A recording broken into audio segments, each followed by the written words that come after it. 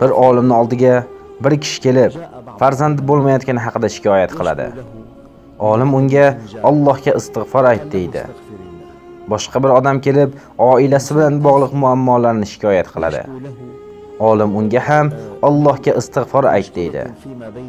Boshqa bir odam yomg'ir yog'mayotganini shikoyat qiladi. Olim unga ham allohga istig'for ayt deb javob qiladi. Bir kishi olimdan savol berganlarni barchasiga istig'for aytishni tavsiya qilganini sababini so'raydi. Olim allohni ushbu oyatlarini tinglang deydi.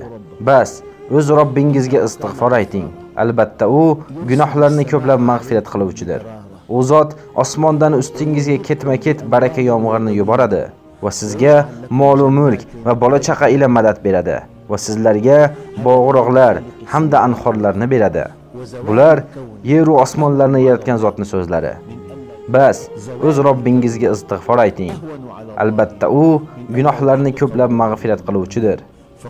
U zot osmondan ustingizga ketma ket baraka yomg'irini yuboradi va sizga mol mulk va bola chaqa ila madad beradi va sizlarga bog'roqlar hamda anhorlarni beradi.